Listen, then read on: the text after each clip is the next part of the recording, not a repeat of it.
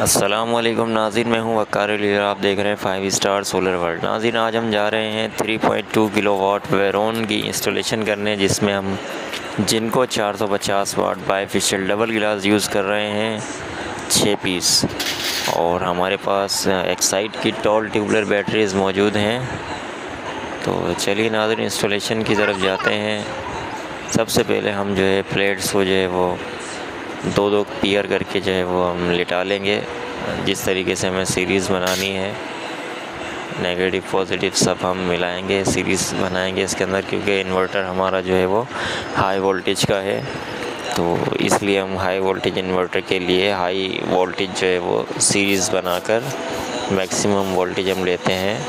और इसमें हम सिक्स एम mm का जो है वो English copper imported wire use करेंगे। जिस पे शील्ड मौजूद होती है जिसमें तो बहुत अच्छी क्वालिटी की केबल होती है। आप भी अपने सोलर सिस्टम के अंदर जब भी आपको केबल लगानी हो तो इम्पोर्टेड केबल का यूज़ कीजिए सोलर के कनेक्शन के लिए। और इनपुट आउटपुट पे कोशिश करें सात उनतीस जो है वो आप यूज़ करें थ्री किलो वाट में। तो चलिए नाजिन हम मज़ीद काम की तरफ़ चलते हैं।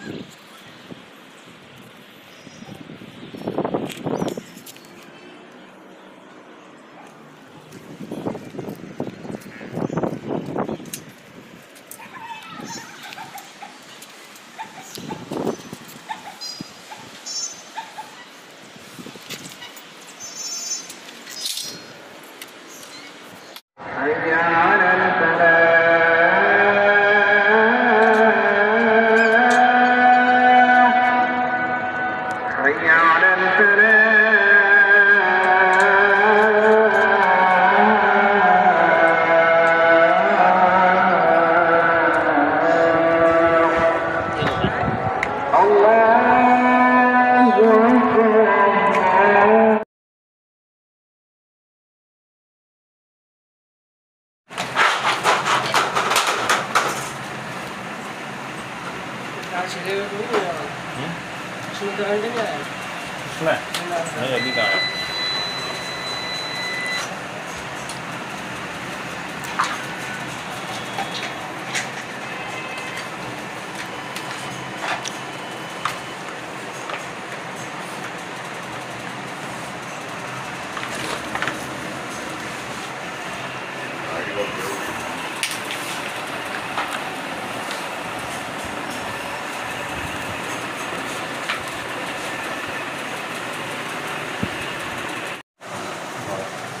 है वहाँ से काट जब वहाँ से अगर घुमा ले तो वो निशान नहीं आएगा। वो कोना जो फटा हुआ है। पट्टी घुमा ले मतलब वो काट दो कोना काट दो हाँ वो। काम करो। काटो नहीं। घुमा ही लेते आसान है। आप कुर्सी से करनी है। मैं भी यही देख रहा था मैंने कहा ये कौन डैमेज कोना का वहाँ हो गया। चलो भाई इसकी हम कर देते हैं सेटिंग तो चलिए नाजिन इंस्टॉलेशन हमारी कंप्लीट हो चुकी है। अब यहाँ पर आते हैं हम सेटिंग की तरफ़ से। सबसे पहले हम जो है वो अंडर ओवर वोल्ट प्रोडक्शन की आ, सेटिंग करते हैं। अब वोल्टेज जो है हमारे पास 280 सेव है इसके अंदर। हमें इसको करना है तकरीबन 260 जब हम 250 पे करते हैं 250 से ऊपर वोल्टेज अगर के इलेक्ट्रिक के आते हैं या फिर और 160 डाउन वोल्टेज है इससे कम आएँगे तो इन्वर्टर को जो है ये बंद कर देगा। और ये एम्पेयर्स हैं। एम्पेयर हमने इन्वर्टर लगाया है 25 एम्पेयर का। सॉरी तेरह एम्पेयर का इन्वर्टर है हमारे पास तीन किलो वाट। तो हम इसको बारह पे सेव कर देते हैं। ये आप देख सकते हैं। ये डाउन हो रहा है। और इसको हम बारह पे ला के सेव कर देंगे।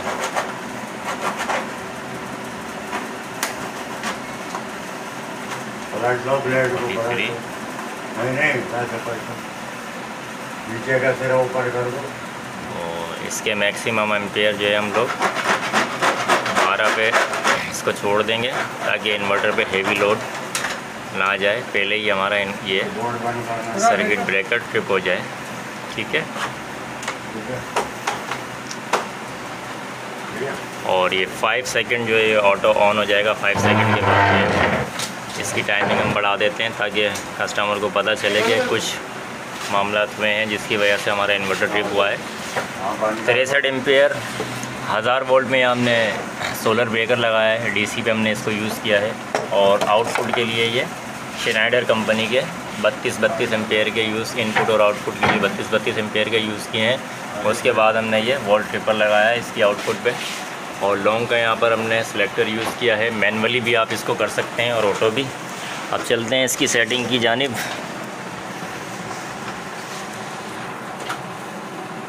आ जाएँ। मैं भी बना लूँ वीडियो क्या कर तो वीडियो तो बना ही रहा हूँ मैं आपको सेंड कर दूँगा। तो अगर आपको भी बनानी है तो बना सकते हैं। तो ये इसके अंदर सेटिंग इंस्टॉल करने के लिए हम।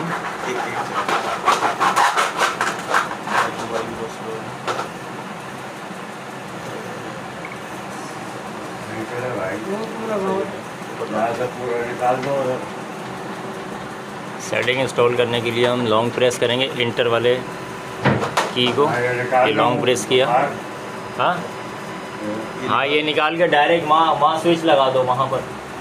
वहाँ पे स्विच लगेगा। ये निकालोगे तो बंद हो जाएगा अभी हैं।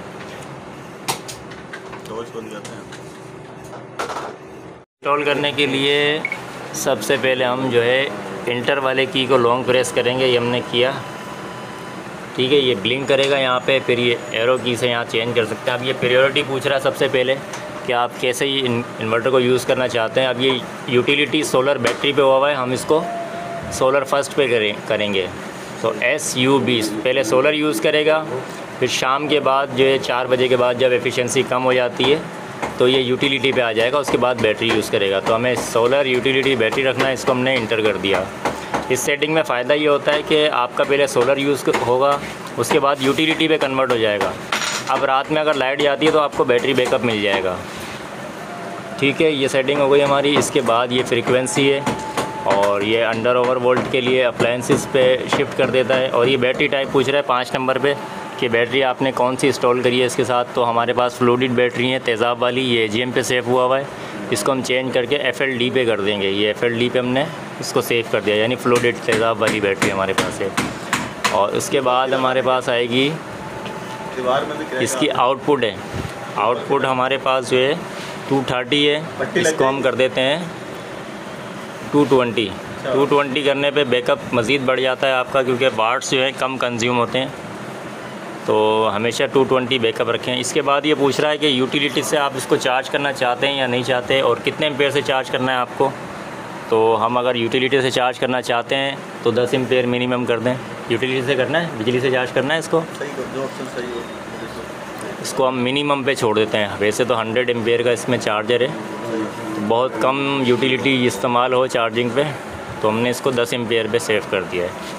ठीक है? अच्छा लेकिन बिजली अगर ना आए ज़्यादा देर के लिए सही है तो ये उसी से उसी। दौरान जो है दस एम्पेयर यूज़ करेगा। ठीक है? अब ये अब ये चार्जिंग टाइप पूछ रहा है। सिक्सटीन पे जो है चार्जिंग टाइप पूछता है। तो हमने सोलर एंड यूटिलिटी तो दोनों पे हमने चार्जिंग रखी है इसकी। एक ही टाइम में दोनों से चार्ज होती है। शाम में जो है वो जैसे ही एफिशिएंसी कम होती है सोलर की यूटिलिटी पे शिफ्ट करके, जो बैटरी में थोड़ी बहुत कमी अगर रहती होगी तो ये यूटिलिटी से पूरी कर देगा और 100 परसेंट उसको चार्ज करके रोक देगा। अब इसके बाद आखिरी सेटिंग कट ऑफ़ की होती है। बैटरी कट ऑफ़ कितने पे रखनी है हमें? और ये आ गई हमारी कट ऑफ़ सेटिंग तो दो बैटरियाँ लगी हुई हैं हमारे पास। चौदह दूनी अट्ठाईस, चौदह अशारिया छः पे कट ऑफ़ है, सही है डिफ़ॉल्ट पे हुई हुई है सेटिंग और फ्लोटिंग वोल्ट यहाँ पे सत्ताईस हुए हैं तो ये हम बढ़ाकर कर कर देते हैं इसको। अट्ठाईस पे ले आते हैं floating volt thirteen point eight से डबल मल्टीप्लाई करके। तेरह शरी आठ, तेरह शरी अट्ठाईस छः हो गए। सत्ताईस छः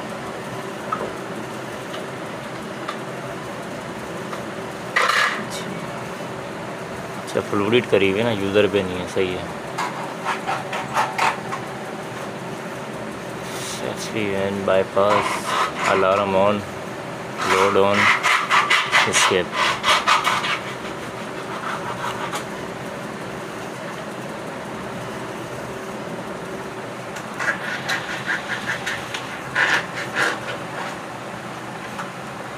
setting सारी सेफ़ हो गई इसमें। अब दोबारा छेड़ने की ज़रूरत नहीं है। जब तक आप बैटरी चेंज ना कर लो। सही।